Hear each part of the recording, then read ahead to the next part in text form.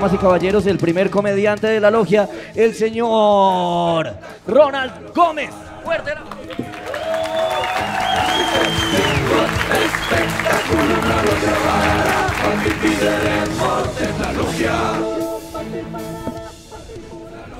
Hola, buenas noches.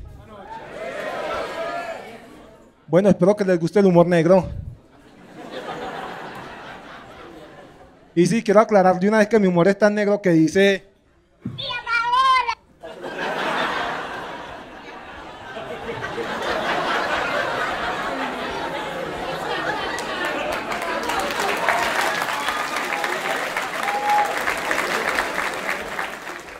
Eh, siempre que empiezo a hacer comedia, me gusta empezar haciendo una confesión.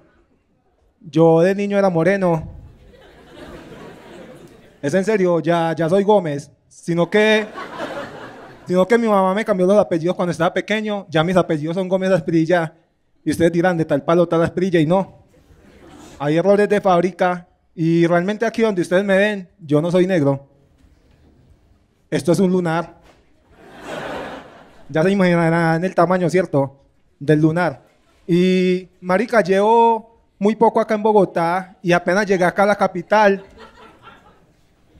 ¿Ya lo entendió?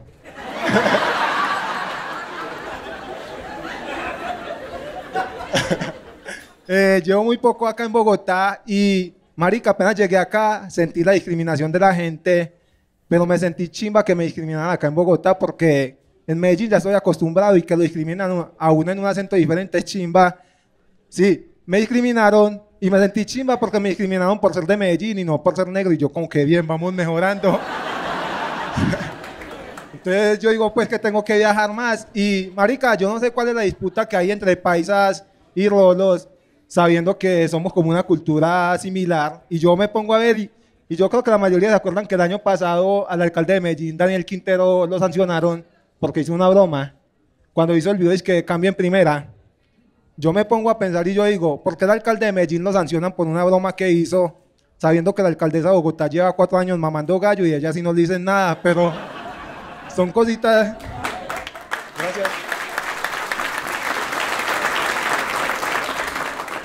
Son cositas que hay que ir viendo y quiero hablarles un poquito de mí. Yo vengo de una familia muy pobre de la ciudad de Medellín y yo creo que no hay nada más pobre que la palabra Silven. Yo creo que ustedes escuchan Silven y se imaginan maltrato, maltrato familiar, niños en desnutrición, una madre soltera y prácticamente lo que le acabo de hablar es un spoiler de mi vida. Si es en serio, por ejemplo, hoy no almorcé y yo le comenté un parce, ¿qué parce? Miran que no almorcé y él dice que, uy, marica, qué pesar. Y yo le dije, no, para mí solo es un TBT porque ya estaba acostumbrado.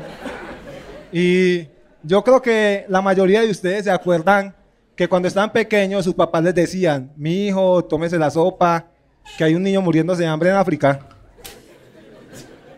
Ese niño era yo. Quiero agradecerle a cada uno de ustedes por su sobrado, sobreviví, estoy aquí. Y, marica, es que ser pobre no es fácil. Y yo creo que tengo una pregunta. Si un pobre tiene hambre y tiene un cuchillo en la mano y se vuelve un delincuente, esto lo vuelve un arma de doble filo. Hay que pensarlo un poquito, porque, marica, yo me pongo a ver que la desigualdad en este país solo trae pobreza, desplazamiento, hambre y venezolanos, marica, por donde, por donde uno se mete hay venezolanos y para mí es muy incómodo, y tan- pero también es chima que haya venezolanos en Colombia, porque yo como negro estoy agradecido que los venezolanos hayan llegado al país, sí, porque ya los chistes son compartidos. ya los chistes una había una vez un, había una vez un venezolano y marica, ahorita estaba por el chorro de Quevedo y grité chamo y voltearon como 30 y yo, ay marica, ellos están aquí. Y, y para mí es una situación incómoda porque yo veo que con la situación que está viviendo el país, teniendo este color de piel, marica, no es, no es fácil porque en cualquier momento vuelve la esclavitud. Realmente yo estoy asustado y yo me pongo a ver que yo quiero tener hijos, pero siempre me han gustado las parejas blancas porque no quiero más negros en mi familia porque ya hay demasiado.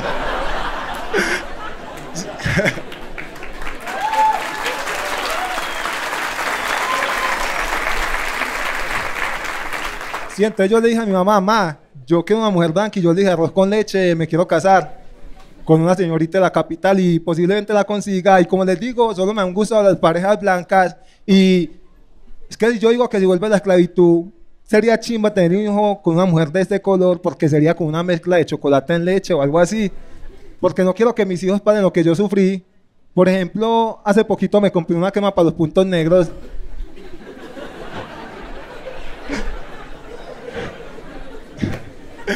Y muchos dirán, en fin, la hipocresía, y sí.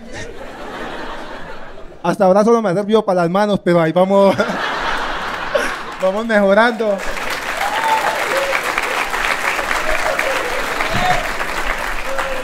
Y marica, yo digo que si vuelve la esclavitud y yo llego a tener un hijo con una mujer blanca, sería muy chimba para mi hijo, porque él podría ser un esclavo, pero medio tiempo. O sea,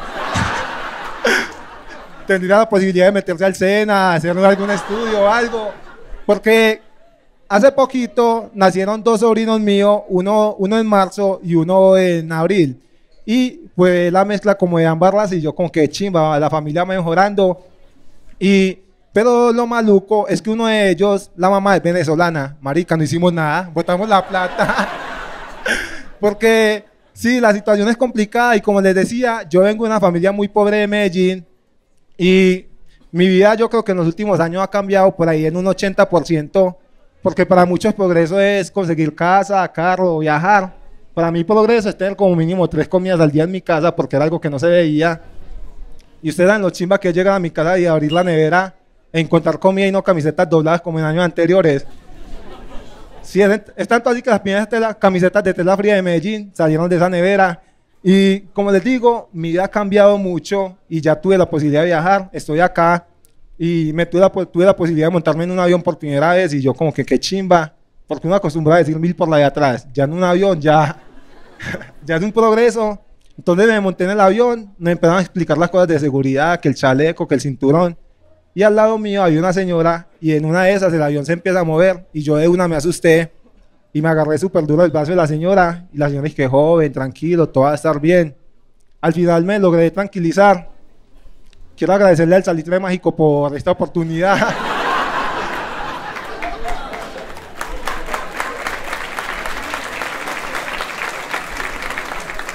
Realmente me vine en bus y también el año pasado tuve la posibilidad de conocer el mar y yo creo que es el sueño que la mayoría de nosotros tenemos. Y marica, cuando estuve en el mar descubrí algo que me hizo sentir muy feliz, que fue que yo pensaba que yo de niño era pobre por andar descalzo, sin camisa y muchas veces sucio. Y con este viaje me di cuenta que yo no era pobre, sino costeño y que gonorrea, marica.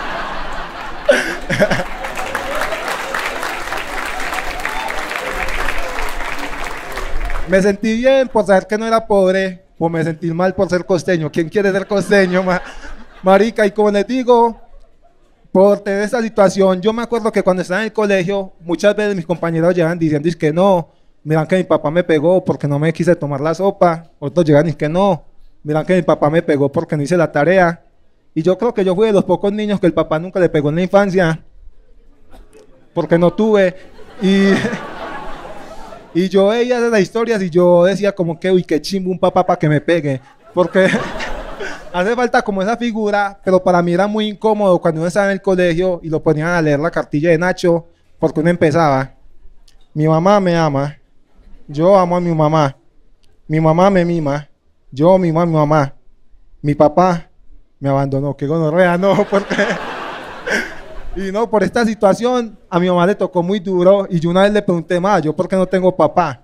Y ella me dijo que él alguna vez le había confesado de que no quería tener hijos, pero se lo dijo después de que habíamos nacido los seis y yo como que...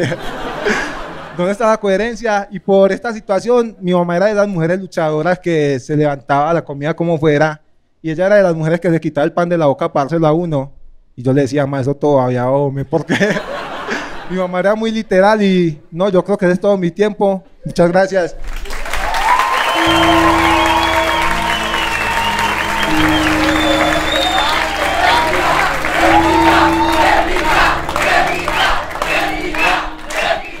Bien, bien, qué chimba. Eso, así lo tienen que hacer, así lo tienen que hacer. ¿Quiere hacer réplica? Eh, no, pues yo vine acá a parchar y Tan lindo. A mí sí me daba miedo una réplica de este man ahí. Su merced dice, si quiere, ahí le pasamos hojitas, si no, vaya pensándolo, ¿listo? Eh, ¿Cómo? Váyalo pensando, todo bien, mi negro lindo. Eh, ¿Cuánto usted es de medallo, medallo o de qué parte específicamente? de Medellín Mod, sino que no me no tengo el acento. ¿Pero por qué? ¿Cómo hizo? ¿Cómo logró? O sea, ¿cómo ha logrado usted sobrevivir a ese acento, weón? No, sino que yo tengo algo llamado frenillo lingual que no me dio el tiempo de contarles eso. ¿Algo que se llama qué? Frenillo lingual. Que No, marica, eso está súper chistoso, weón. No sé, que gu- guachumoshunko. No, sé, es una vaina así. yo tenía la lengua pegada desde la punta a la parte de abajo, entonces no la podía sacar. Irónicamente, No la podía sacar. No, mentira. entonces, irónicamente, no puedo pronunciar muy bien la letra R y me pusieron como nombre Ronald, entonces, Ay, qué rabones. Marica, el síndrome de me deja ver su lengua, esto se ve no, pero es muy blanca. Marica, la lengua es re blanca. Qué chiste, pues, marica, ¿cómo hace para tener esa lengua tan blanca? Dominos, Se lame la mano. Perdón, yo no quería hacer. Ay, mi perro. Eh, pero ya, eso era una operación. Sí, pero como no estoy acostumbrado, como me operé hace como siete años, pues algo que tuvieron que haber de, hecho desde la infancia, entonces, O complicado. sea, pu- ¿usted puede darnos un spoiler de cómo era hace ocho años usted hablando? No, pero, pero sí se le dificultaba. Era O sea, no mandaba audios porque si los ponían por dos, se perdía la información, entonces, Marica. Sí, era raro la vocal. Pero si tenía la lengua pegada, ¿cómo hacía para ingerir? ¿Como pajarito? ¿Cómo hacía para tragar? no normal. ¿Así? Para mí siempre fue normal, pues, porque crecí con eso, no. ¿Cuántos hermanitos tiene usted? Somos ocho. sí, me lo esperaba que debían ser hartos. Marica, ocho hermanos. ¿Es el mayor, el menor? Eh, El papá. no mentiras, no sé. Ocho hermanos. El mayor, el menor, ¿dónde está usted? soy el menor de todos los hombres. Ay, que usted es el bebé de la casa. Ya soy el hombre de la casa. Ya, el sedazo es porque ya me operé lo de la lengua, marica. Ya de, ahí para atrás y era gugú, agagá. Sí, eh, no, bien, mi perro. Oiga, hizo muy bien en la vuelta. Qué chimba, bienvenido. Venga mucho más por acá. Se paró muy duro. Qué bacano el recibimiento también del público ahí. Severo, severo. Severo. Ya, estamos ásperos para Roast. Estamos ásperos para Roast. Fuerte el aplauso, damas y caballeros, para el primer roaster de de la noche, damas. Ay, hijo de puta dislexia, yo también hablo re mal, weón. ¿Me perdona? Sí. El primer comediante de esta noche, damas y caballeros, el señor Duban Aguirre. Fuerte el aplauso para él.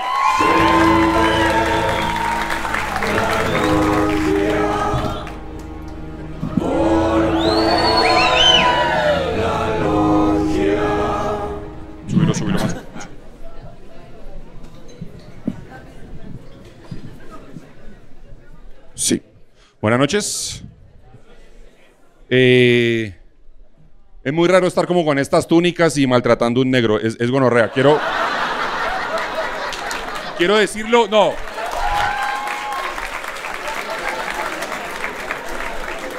Menos mal esta mierda no son blancas, huevos. Sería una gonorrea. Eh,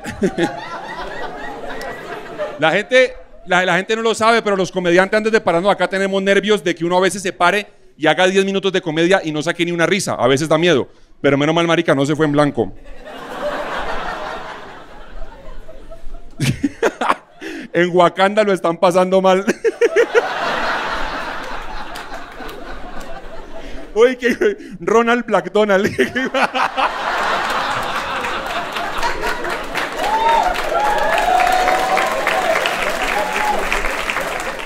Janfrey después de pasar por la UPJ.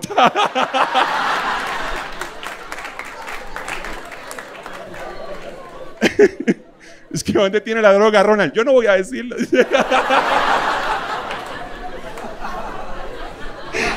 es que a Duan Zapata se lo culió el dengue. estuvo bueno, estuvo bueno. Uy, qué, qué piros. Hoy no almorzó, pero gracias a Dios sí repartió hartos almuerzos. Qué... yo, iba a escribir algo, algo parecido, pero no lo hice, pero ¿cómo está de flaco tostado?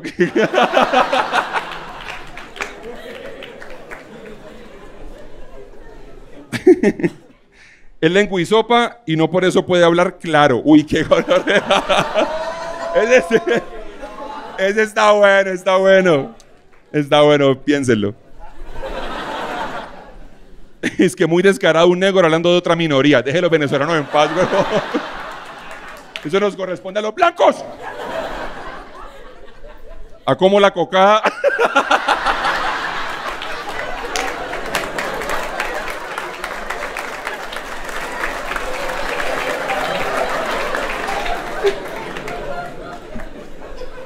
Uy, qué hijos de puta, weón.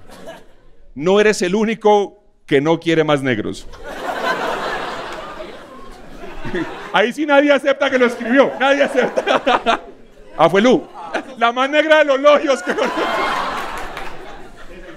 que. Con esa chaqueta parece un helado de ron con pasas. ¿Qué?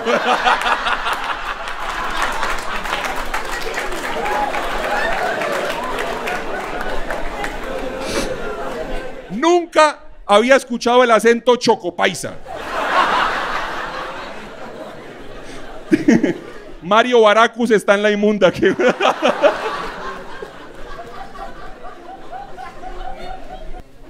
Versión comediante de Melvin de Choco Crispies. ¿qué? Uy, ¿qué esa? Uy, se quitó la chaqueta.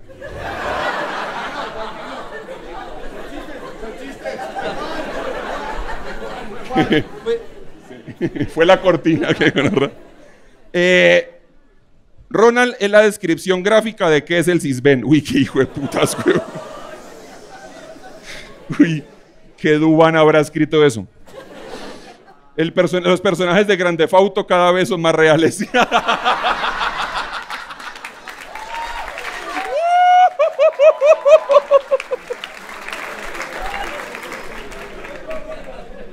y recién sacadito el tráiler que gonorrea. Un negro con la lengua blanca, Michael Jackson a la inversa.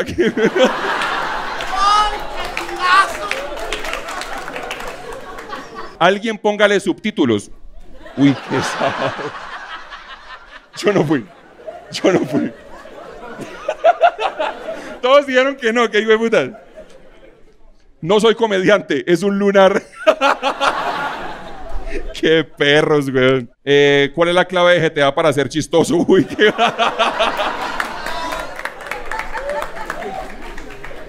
En esto terminó la rebelión, dice que... Ronald es el carbón que le llevan a los niños que se portan mal. Que...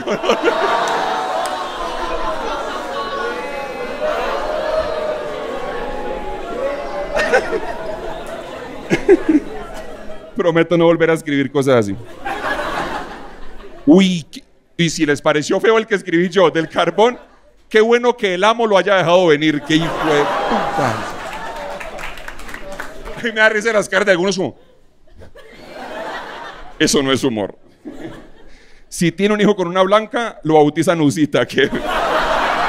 Ese está tierno. Después de dos abrazos de esos, ese está, está bonito. Está acostumbrado a comer mierda porque todos sus besos son negros.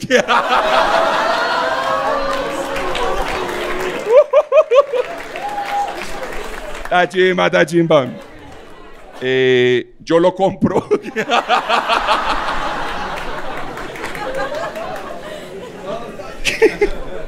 Qué gonorreas. El amante de la chevichica habla muy maluco. Qué gono- Ay, marica, sí. A este man para que monte en avión, lo complicado es conseguir un guacal así de grande. Uy.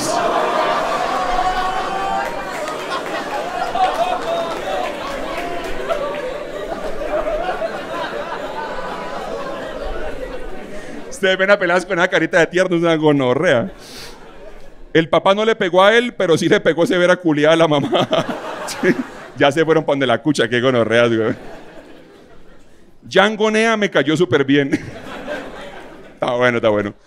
Si tuviera papá, sería Serena Williams. Lo abandonaron los papás y también los chistes. Uh. No, no, no estoy de acuerdo. No estoy de acuerdo. El, papá no lo abandonó. Que vino a parchar y a vender unas manillas. Qué filo. Uy, le buscaron hasta artesano negro. Qué gonorrea. Lo bueno es que si le llueve mierda, no se le nota. ¿Sabe qué es lo feo? Que la gente va a pensar que yo fui el que escrito esta maricada, weón.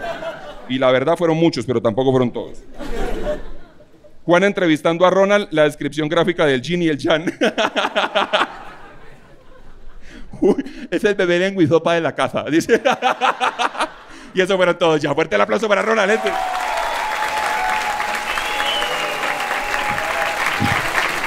Áspero, muy áspero. ¿Tiene tiritos? ¿Va a decir algo? Marica, muchas gracias por pararse, lo hizo muy bien. Fuerte el aplauso para Ronald. La logia. Corpus. La logia. Artifexindo ad spectaculum la logia pararà pati videre mortem Artifexindo ad logia pati videre mortem La logia. La logia. La logia. La logia